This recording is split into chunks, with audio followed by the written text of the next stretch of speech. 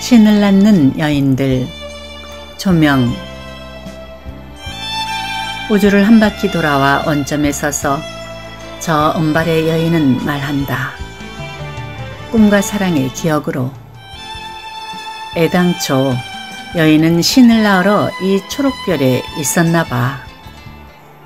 동굴 속, 돌 속, 조가비 속 꿈의 안쪽에 스스로 있어 반짝반짝 쑥 씹고 마늘 삼키며 속살속살 바람과 햇살과 비를 불러들일 줄 알았던 게야.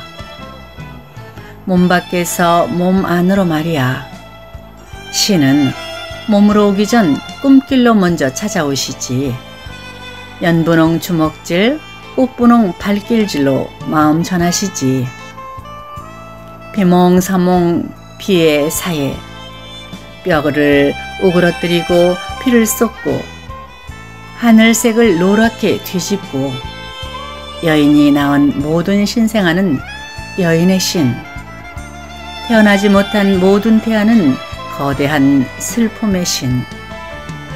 신이 홀록홀록하면 여인의 가슴은 철렁철렁하고 자연스럽게 여인은 신의 생모 조그만 하나님이 되었던 게야 애당초 여인은 바람과 햇살과 비와 한 통속이었던가 봐.